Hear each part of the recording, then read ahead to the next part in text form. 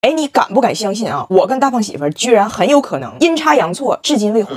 说你都不敢信，咋回事呢？温迪的计划呀是年前办签证，然后二十四号，也就是昨天来中国。结果办签证的时候呢，出现了这么一个谁也不曾想到的乌龙事件。大使馆签证处看完温迪的文件，说我跟大胖媳妇的结婚证扫描件没有公章，没有法律效应。而我婆婆要办的是探亲签证，需要我作为中国公民给她发邀请函。也就是说呀，这个受理需要两个充分且必要条件：一要证明大胖媳妇是温迪的儿子；二要证明我是大胖媳妇的媳妇，合法夫妻。结果啊，好巧不巧，俩都没证明了。首先要证明这个母子关系，我婆婆带去了出生证明，人家一打开没有大胖媳妇名，我婆婆都懵了。那不对，她是我生的呀。完给她老公我公公打电话才明白，原来他家这个出生证明啊是我公公去办的。那我公公不不是他亲爸吗？然后我公公当年给我这俩小姑子办出生证明的时候呢，大胖媳妇已经好几岁了。那老头当年嫌费劲，没给他办，完后来就忘了。也就是说，他家的户口本上没有他，没有他。然后我婆婆就回家找大胖媳妇的出生证明，她呢也不是没有证明，她就医院给她发那种随机的证明，没有父母名。也就是说，大胖媳妇的出生证明啊，只能证明他出生。不能证明被谁，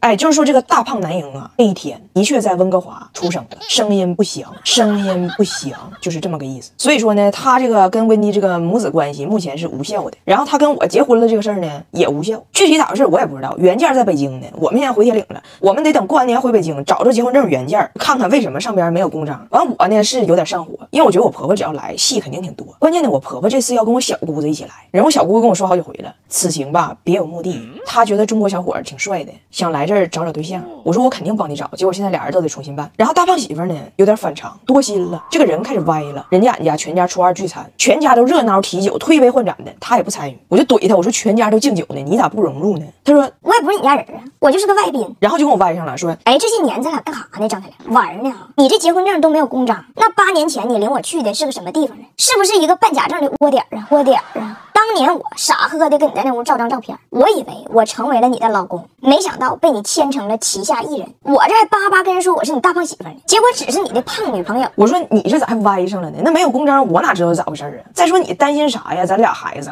他说对呀，有俩孩子，那我咋不担心呢？有了名分，我是孩子他爹；没有名分，我就是未婚妈妈。未婚妈妈。总之吧，这两天坍塌了，内心嘶吼着痛苦的独白：我在哪儿？我是谁？在加拿大不能证明自己是谁，在中国也不能。我说你转移一下注意力，咱俩看电影去吧。他爱看电影名。哎妈，你找的电影都骂我，《流浪地球》，《流浪地球》。